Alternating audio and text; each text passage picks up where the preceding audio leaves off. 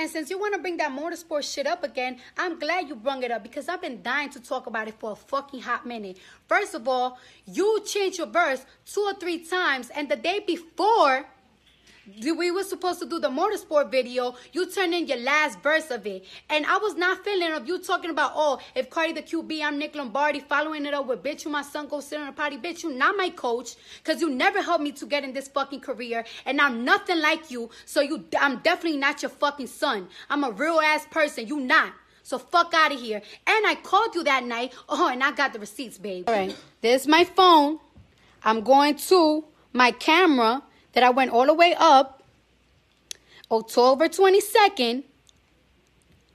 This was your number. I called you twice and you didn't answer. No, show you, show you, show you.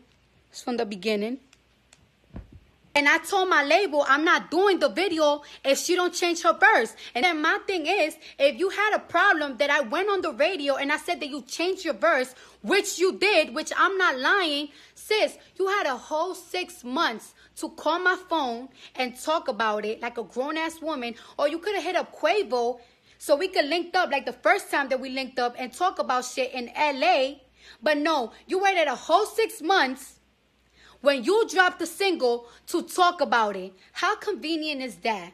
Wow. How convenient is fucking that?